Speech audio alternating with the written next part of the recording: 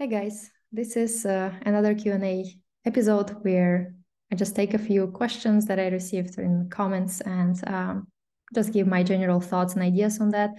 Uh, and I hope that someone will find it valuable. And before I start, as always, I want to say that nothing here is medical advice or psychotherapy advice. I'm not a medical doctor or mental health professional, so um, I'm just someone who has gone through experience of insomnia and learned something uh, uh, along the way and now i'm just sharing my general thoughts and ideas and i hope that it might be helpful for some people and if it's not helpful for someone that is still fine. Everyone's journey is different everyone's experience is different so we are here to learn. So with that said um, i'm ha- i have uh, basically four questions or four comments that i wanted to uh, include in this video and I'm gonna, you know, just uh, do one by one. Um, okay, so the first question is from Andrea. And um, actually, I have two questions that I that are kind kind of the same. So maybe I will just read them both and then you know answer at once to both of them. So the first question is from Andrea, uh, who writes, How do you cope with having insomnia and responsibilities at the same time? For example, a job and inability to focus, having to go somewhere or do something, but you are too tired. Uh, or did you cover this already in any video?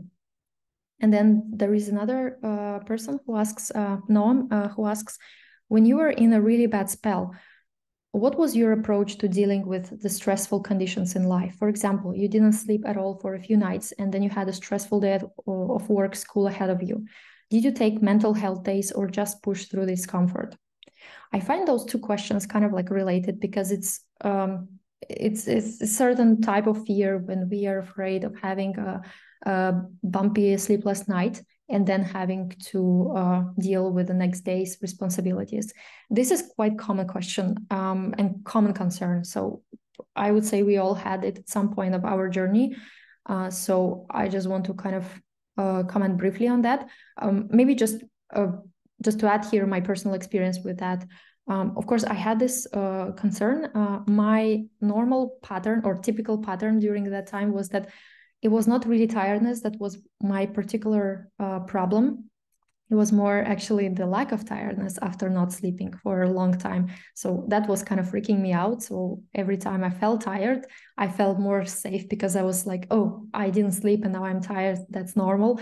Um, but i know that there are some people who are struggling with the actual feeling uh, of tiredness. And the first thing that i want to say here is that I don't find it weird that we feel tired after a sleepless night or after several sleepless nights. So it's not something that um, that should not happen or like mm, you know something abnormal.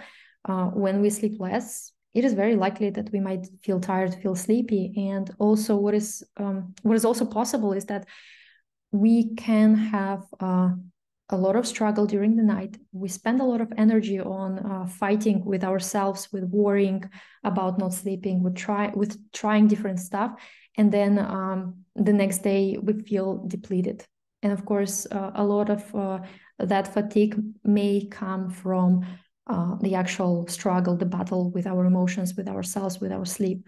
So just seeing that, you know, the fact that we are tired might not always be attributed to the actual amount of sleep, but it also can, but it also can be attributed to the actual fight that we have with ourselves. So I would say that uh, in terms of like how to cope with that, we have options here. I don't find that uh, having one particular strategy uh, and use it at any situation is super helpful because there might be some days when we have more capacity to get on with our days and do stuff that we planned and some days uh, after a sleepless night we might not have capacity we might be very tired or we can be very stressed very frustrated that uh, um, it's not always available to us to be present 100%. So I would say it very much depends on the situation. And um, even during my struggle, I always had this kind of like um, mm, approach that if something like this is gonna happen, then I'm gonna choose whether I want to take care of myself and go easy on myself, or I'm gonna, you know, push through. And just knowing that I have that choice could already free myself from unnecessary pondering and uh, trying to figure out um, how I would uh, act in a certain hypothetical situation. Because I would say a lot of worry comes from thinking about things that hasn't that haven't happened yet. So, for example, uh, I'm let's say currently we are not having any stressful uh, or important event ahead of us, but our mind kind of tries to prepare us for this. So uh, it might start creating worry around like okay what if you will have this type of experience? Then how would you be if you didn't if you don't sleep? So we are thinking about some hypothetical situation in the future and we are worrying about it now and now we are feeling stressed. So i would say just knowing that we can provide to ourselves care and comfort when we need and then also decide based on how we actually feel in the moment that can already uh, you know uh, help us to feel uh, easier maybe right now. And then when and if such situation actually comes we can choose what makes sense for us to do. So maybe if it's possible for our work we can take the day off if we really feel like okay i'm not able to focus on this and it's completely normal to take care of ourselves and uh, you know uh, find support in that way. Or when we feel like yeah i didn't sleep much i feel tired but i think i i can go on with my day and then we can go on. And in this way we can teach our brain that we don't have to fear uh, sleepless night because we can still you know do some th- things that we planned. But uh, if you know if let's say we don't have capacity for that we also can provide to ourselves comfort. So i would say just like really gentle approach here and uh, um, taking it like per situation not as like setting it as a rule uh, might be helpful and might be kind of like liberating because we would know that we don't have to really always push through or always choose to uh, avoid certain things um, that can already help to for us to move on on this journey because then we can choose. And also realizing that we it's not always this kind of like um, you know black or white situation where we are like okay if i'm choosing to have like a day off then it basically means that this day i'm gonna be inactive or completely you know um, not functioning at all. Maybe even during that day we can find capacity to do some like basic stuff. For example when i had um, such days uh, i would just uh, choose something at least one thing that i could do um, that would at least show me that I can take care of myself or I can do something even though I had this rough night before or rough several nights. And sometimes this um, these actions could be even absurd. Like they could be like mm, go and take shower or uh, make bed or you know uh, make myself a cup of tea or something like this but something that i felt like okay this is my task and i'm gonna do it and then count it as a in my kind of like productivity um, achievement that the the, breaking uh, uh, task into small pieces that can also help. But also knowing that okay if i choose to push through or like go on with my day and let's go to work and go you know studies whatever then knowing that you know maybe i don't always have to perform 100% maybe i can still go and i can choose to do like say i don't know 20% of what i can do and and and base um, my decisions on that that freedom that yeah i can i can adjust how much i want to involve with or engage with that day and go on with that day. So it all it's all very individual and of course like that depends on many circumstances. Sometimes we have available you know uh, option to take free days. Sometimes we don't have available. So it's really hard to give any specific like answer to this but i feel like flexibility is something that the direction that we can explore here. So i hope that this was uh, helpful Okay, then uh, the next question I have from uh, Maurizio, uh, who writes, uh, Alina, I'm here because I'm experiencing the same thing after months of normal sleep. Uh, and by the way, this comment was under the video that I published recently, which was about like having a speed bump after a long time of sleeping better. So uh, Maurizio writes, I noticed that brain, at least mine, creates these speed bumps in two ways. Either it creates associations with variations in details of your environment or daily activity. What if I cannot sleep without the pillow? what if you uh, if you have to go in that uh, new place tomorrow and you cannot sleep or it fears to go back at square one what if i experience again the whole struggle from scratch i think that both instances are connected to aspect that you are stressing the brain fears that i was only lucky in the last month and so it looks for variations in pattern that may justify new struggles what do you think about it and what's your suggestion for this kind of associations? My first choice is to challenge them by doing the opposite of what my brain tells me. In short, exposure. Is it correct or can it become a sleep effort in disguise? Thanks in advance.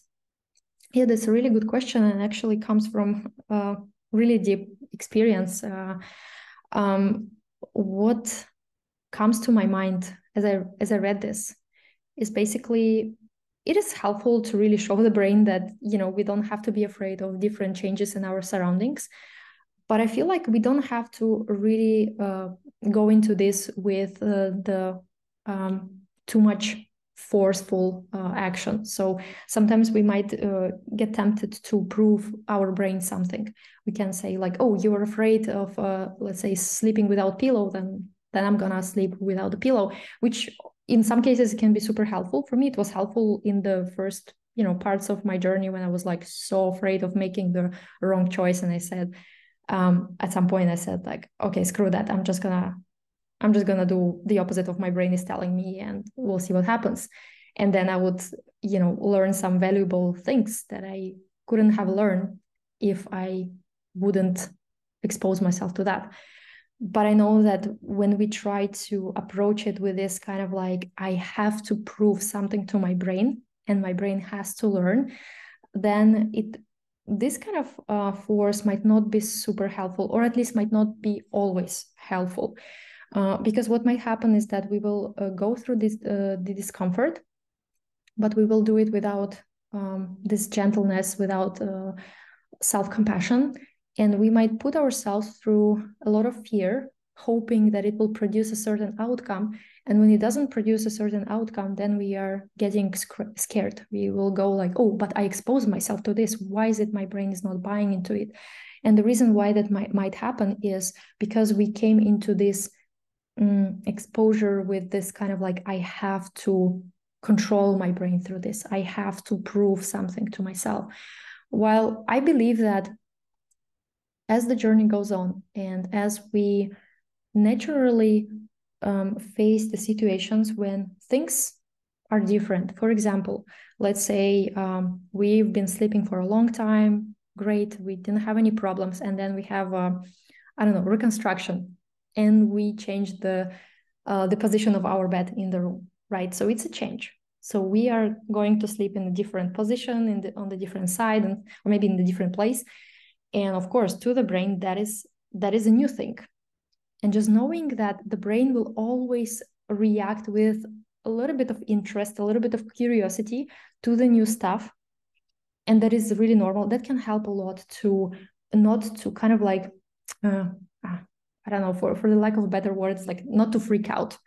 So when we know that if conditions change and we have to change something in our surrounding the brain might resist. The brain might push back on that. And just knowing that if it happens and if the brain will send us all this kind of like thoughts it is still okay because the brain has its agenda to keep us safe. So the only way how it can keep us safe is by you know uh, warning us with signals like anxious thoughts catastrophic scenarios um, problem solving um, maybe some you know increase anxiety, heart palpitations, and things like that. And when we are not surprised to see those signals, this is when they don't really hold any power over us. They can still arise as the as we keep living our life. And, and by that I mean that, you know, we are reintroducing our normal life after we had this struggle for some time. So it is normal that when there is a new stuff coming up, the brain might get a little bit sensitive. And this is not something that is like we are doing something wrong. It is more like a part of the journey. So, for example, we've been sleeping much better, but then there is, uh, you know, we are planning a vacation, right? So, um, sooner or later, this kind of things had to happen. And uh, it is normal to expect from the brain to kind of like respond to that with a, with a little bit of caution. But when we know that this is how the brain would react, then anything that the brain would send to us would already stop being a surprise. So we would know like, oh, okay, I'm I'm I'm going through this change and I'm sleeping in a different position or in a different room. And I know that my brain will try to, you know, warn me about that. So we become more um, observant. Uh, I don't know if that's the right word, but we become to we take the role of this kind of like observer. We just see what the brain does and see the tricks that it tries to pull into you know trying to uh, make us act on that. So i feel like just even uh, noticing these thoughts like what if i cannot sleep with a pillow? Or what if you have to go to that new place tomorrow and you cannot sleep? Just seeing as, that as the way the brain is trying to you know send us signals because it wants to keep us safe. And instead of instantly believing and acting on those we can just acknowledge them for what they really are. Like you know oh okay i see what what's going on. I see what my brain is trying to do here. Um yeah so i hope that this was kind of helpful. And maybe just like to comment on this like fear of uh, going back to square one.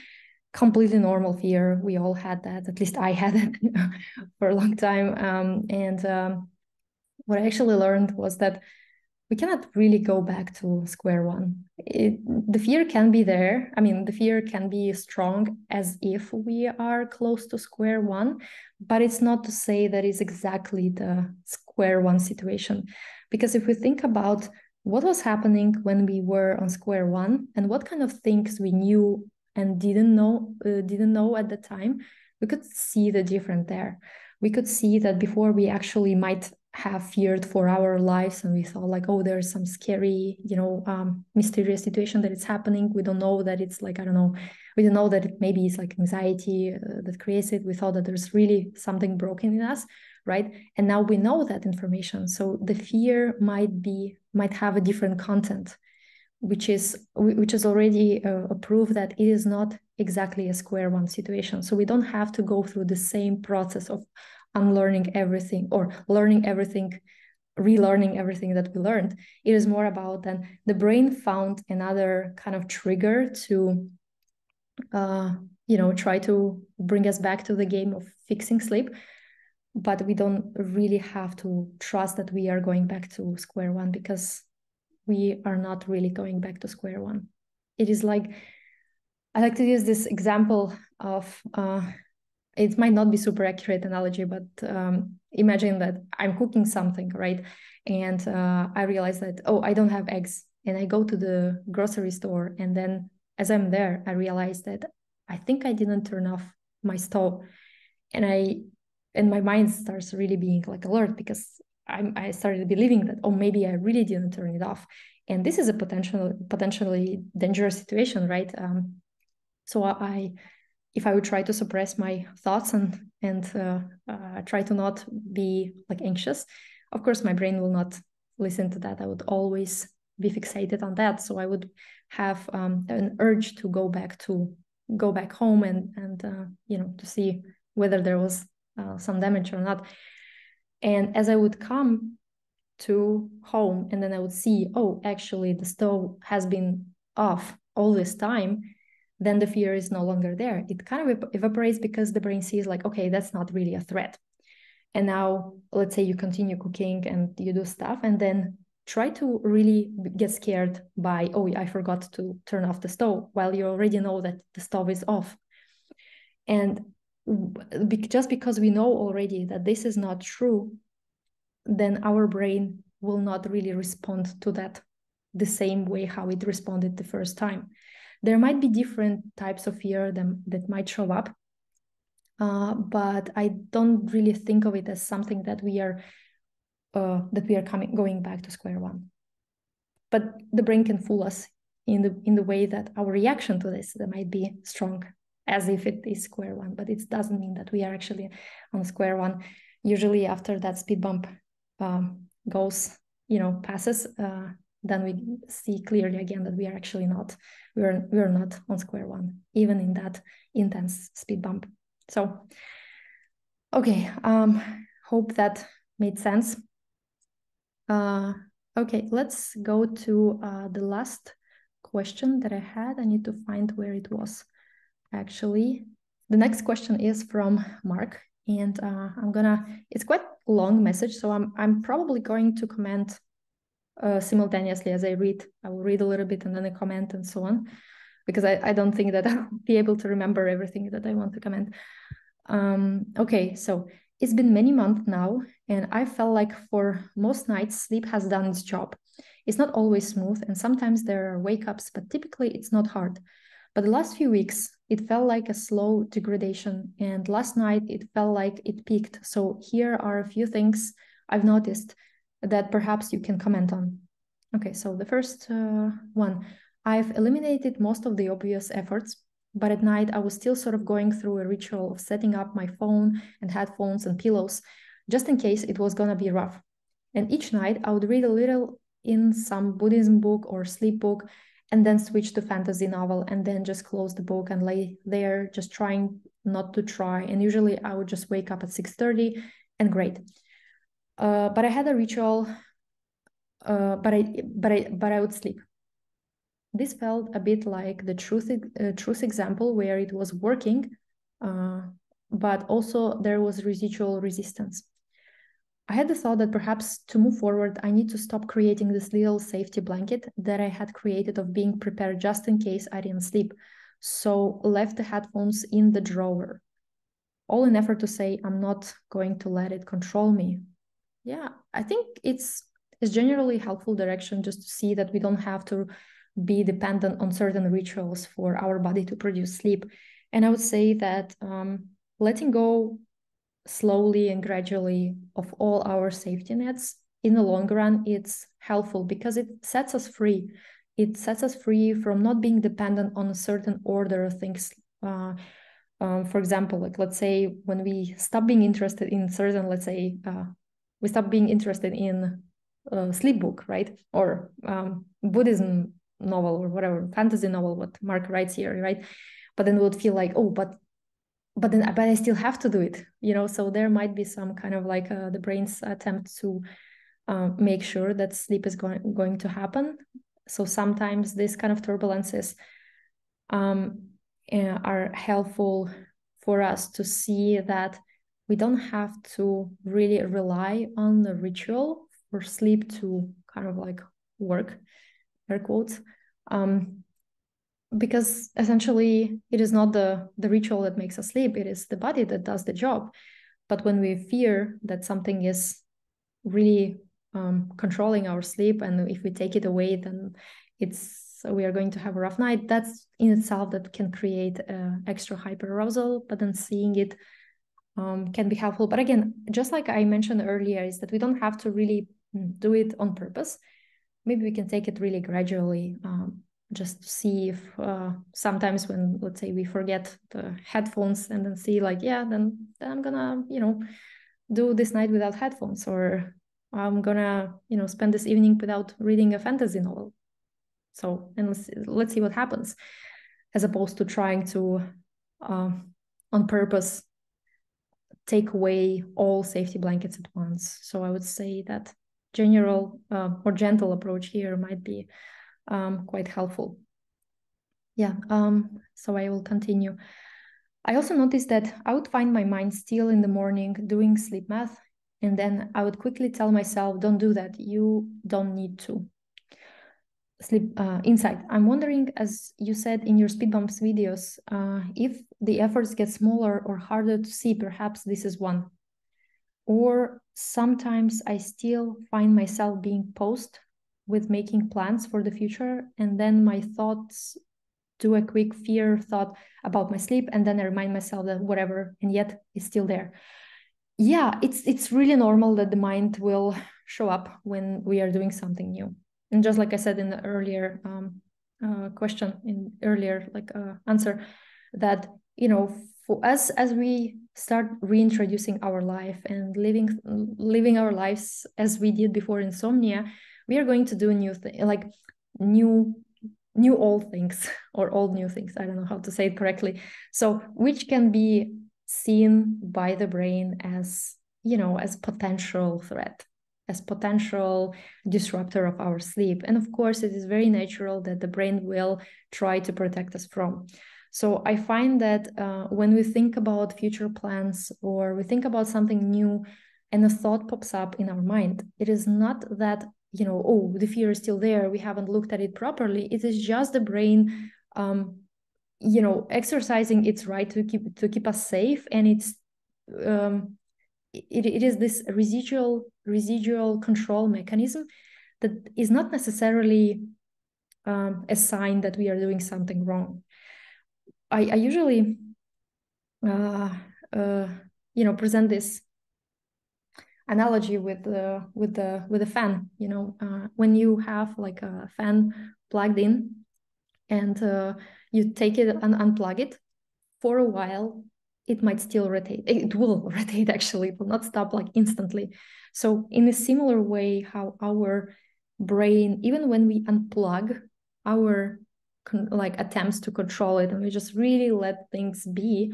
For a while it is normal that the brain will keep sending us those thoughts. And to be honest like when i started let's say writing my blog and uh, you know sharing things that i've learned and you know sharing my my story i i knew that my brain would actually uh, be cautious of that. I was prepared and that's what actually was happening because that's what when my brain was like was sending like yeah but you you you shared this.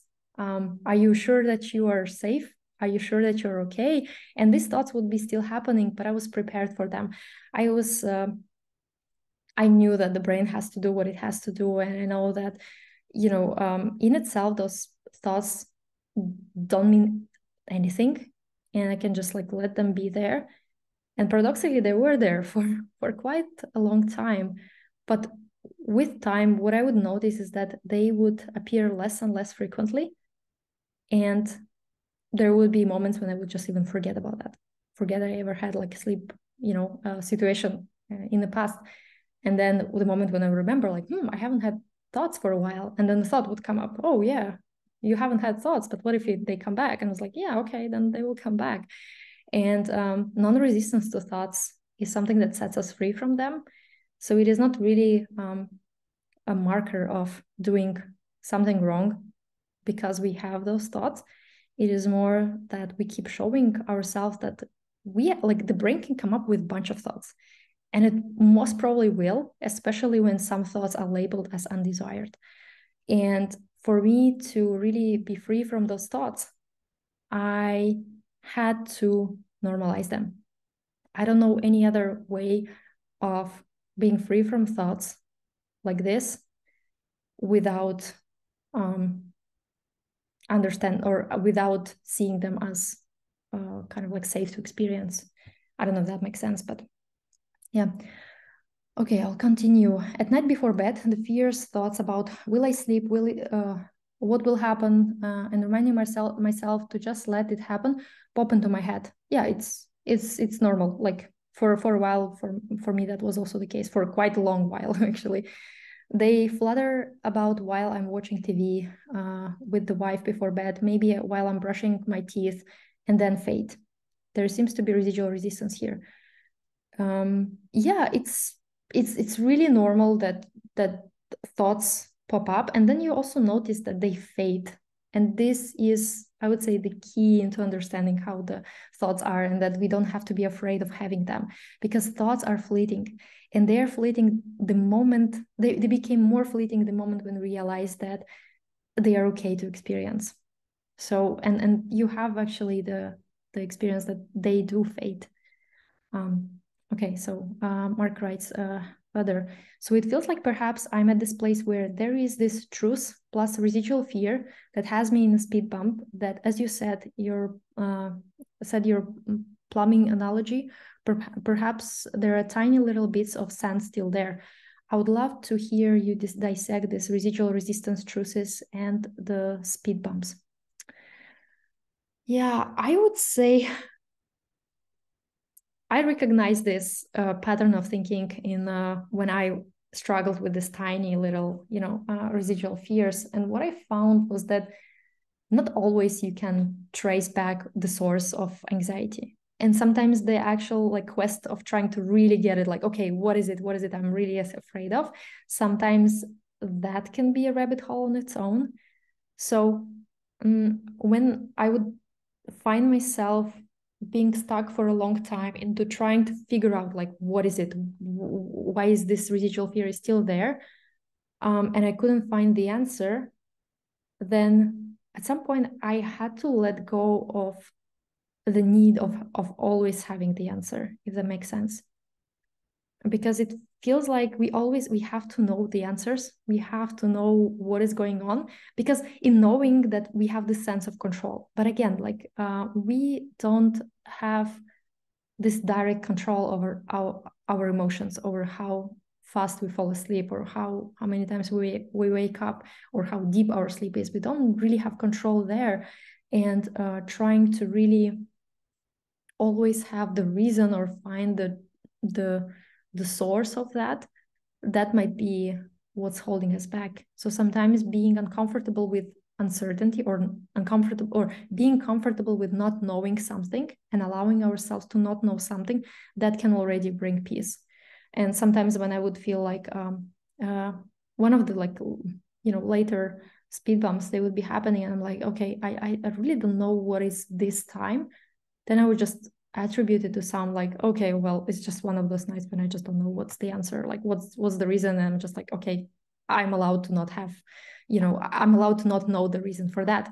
And interestingly, with uh, within quite like you know uh, after some time because I'm I'm kind of normalized this the fact that I don't have to know the answer I don't and and the answer I don't know is actually sometimes an acceptable answer that helped me to really uh, become more accepting of the place where I was, which paradoxically led to uh, less bumpy nights and uh, kind of navigating myself out of the out of speed bump. Yeah. Um, yeah. So in final uh, part of the message, finally last night when I found myself not falling asleep, I saw your video about the speed bumps, and at the end you spoke about getting cocky and how you you thinking that you could just get through it, but actually that approach just made it worse. I just told myself, well, I'm in a speed bump, so yay. I'm going to learn something new, but let's just be calm and move through it. But I also don't want to approach the speed bump wrong. Perhaps you have more insights here. Yeah, it's this feeling of this kind of like overconfidence after we slept well, and then we feel like yeah it's it's it's a feeling of yeah feeling cocky and and uh, um, super super confident is usually that precedes this kind of like a longer speed bump because i feel like whenever we we have like a hundred percent certainty in something like oh i know how to handle this that's usually a control mechanism that's uh, playing out. I find that um, being humble or or um, uh, what's the right word? Um, humility. These are very helpful mindsets on this journey because it, it kind of like takes away our arrogance in this kind of like oh i'm i'm the one who controls stuff. I'm the one who always knows stuff. I'm the one who cannot afford to not know something because there is um, in that confidence there is a lot of potential speed bumps because then when things don't go our way we get easily frustrated and discouraged while um, um i but but this is what i want to i want to share is that um we feel like in in the end of our journey as if we are a better ver- version of ourselves than as when we started this journey. And this is potential mind trap because we are not really better in a sense like even when we like in the end of our journey we still don't know how to control sleep. We still don't know how to make a speed bump shorter. We don't have those we don't the, the only thing what we learn from there is that we are safe no matter what happens. But it is not to say that we have we got something we got some secret. We got some like um, special uh, trick that we can always use and it will always work. And i would say that just seeing that you know like you are not um, you're not a better person than when you started this journey. And uh, real and, and, and even like applying this beginner's mindset this like learner mindset this is what can help us to not get caught up in this kind of like overconfidence and um, that leads us to this kind of struggles. Because for me that was very tempting when i started um, doing more content like this and uh, of course i start suddenly started feeling the pressure of the identity of being a coach and uh, or being someone who talks about this about this process. Because then it kind of like it, it, what the mind played trick on me was that it made me feel like i'm not supposed to have a crappy night. And that played with my mind. Like i was like oh i felt the pressure like oh now i'm talking about this but i'm not supposed to you know i should be like somehow better than i was before. And that arrogance that kind of like um the the, the desire to to know everything uh, always uh, have the right answers uh, always you know or the one who has some secrets that was actually uh, the uh, the mind's trick but the moment when i would actually adopt again this kind of beginner mindset is like yeah i don't i don't control this. Like and the fact that i i talk about like this this journey doesn't mean that i control sleep or that i'm supposed to somehow you know make sure that i will never experience speed bumps. And that just knowing that that i'm i'm not better or worse than i was before it helped me feel free. And this uh and and this kind of like mindset of, of like yeah like you're you're like you're like stu- student for for your life basically. This helps to feel so liberated so free and paradoxically this is what brings like the true feeling of peace. Not being okay with not knowing how things actually uh work. Like like i don't i still don't know how sleep happens. And that doesn't mean that i have to know that but i know that whatever the night looks like it is still okay it is still allowed. And uh, there is nothing I, I i have to do. There's nothing i i can do basically to make sleep happen. And this is what brings back this kind of like magic. It's like the stuff is like you're not trying and sleep just happens. And you don't really care how it happens. And you don't really like analyze it. So i would say really applying even that mindset where we are like really the beginner mindset. We are still like we are learning and and this journey of learning and understanding ourselves is deepening with each um, with each step. So we might cover this like okay i understand a lot of things when it comes to sleep but then i realized like oh but there are other areas of life where i could apply the same principles that i learned in in you know in other areas of life. And this is something that is like i believe is it's a lifelong journey. It's like something that i still like i look at certain areas where i feel like anxious and these are areas that are not related to sleep they're related to something else and i'm just seeing how the mind plays plays the same tricks as if it played um, before like during my insomnia. So that is helpful like really adopting this uh, um, mindset of like yeah i'm just you know uh, it's okay to not know something. It's okay to not have like always the answers um, and accepting that that is what's the the actual where, where the actual relief can be found. Yeah i hope that this made sense. I think i kind of like was speaking for quite a long time but i hope it made sense to some of you. If it didn't so um, that's also okay. Um, if anyone has more questions you can also write in comments. I cannot promise that i will have the capacity to answer all the answers or you know include uh, all all the questions in this kind of type of videos. Um, but i hope that some of you found something valuable in this and uh, i just wanted to thank you all for watching and uh, yeah we'll see each other soon. Bye